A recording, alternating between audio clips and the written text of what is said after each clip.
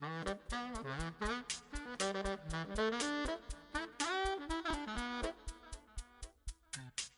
Je m'occupe de la programmation des stages euh, et ateliers aux ateliers 04 qui ont lieu pendant l'été euh, à l'Académie des Beaux-Arts. donc les ateliers 04 c'est un CEC, un centre d'expression et de créativité. Nous organisons des stages durant l'année mais aussi euh, des stages pendant l'été dans toutes les disciplines, donc aussi bien des arts plastiques que des arts vidéo, du numérique. les stages sont aussi bien pour des enfants de 4 ans que des adolescents et des adultes. Une semaine pendant les stages d'été, bah, c'est apprendre diverses techniques dans la discipline dans laquelle se passe le stage.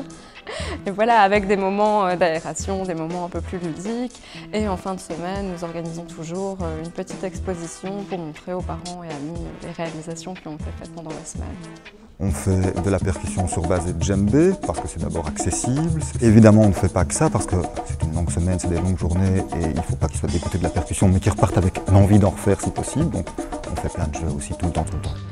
En une semaine, on a déjà fait une jupe, des chapeaux, j'ai fait des colliers en matière spéciale. Et ce que je trouve chouette avec les ateliers, c'est que c'est un budget abordable et euh, le matériel est mis à disposition, le matériel est correct. Et ça donne envie de continuer par la suite et euh, peut-être l'année prochaine, j'essayerai une autre discipline. Pourquoi pas le verre ou le dessin.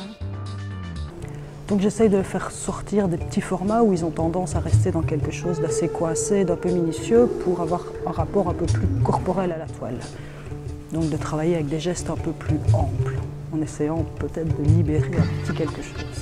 Ce qui est vraiment gai, je trouve, c'est de voir à quel point quand tu es plongé toute une semaine dans la peinture, ben, il y a des choses qui se mettent en place, il y a des apprentissages techniques, et puis il y a plus d'audace à certains, à certains moments, et de constater qu'en peinture, à quel point en peinture tu peux et tu dois te tromper. Accepter l'accident, accepter des choses de toi qui vont peut-être te surprendre, ou tu peux être autre en fait.